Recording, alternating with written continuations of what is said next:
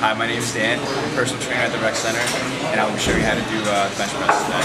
All right, so now you're on the bench. You're uh, flat on the bench. Your hands are a little bit shoulder, um, a little wider than shoulder width apart. Next thing you do, lift it off the rack. And then what, what you want to do is bring it straight down to your chest.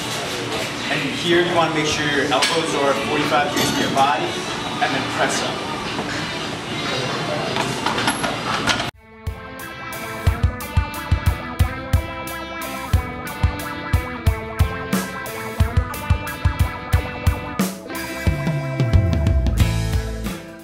So the substitute doing the bench press are when you're on the bench, you lay down flat on it, you make sure your head's flat, your butt's flat, and your whole spine is flat on it.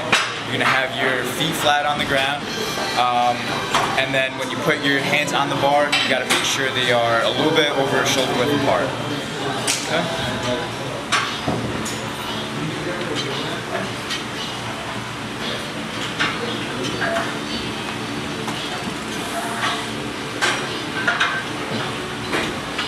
Thank you for listening. Once again, my name is Dan. I'm a personal trainer at the Rec Center, and if you have any questions, don't hesitate to ask me.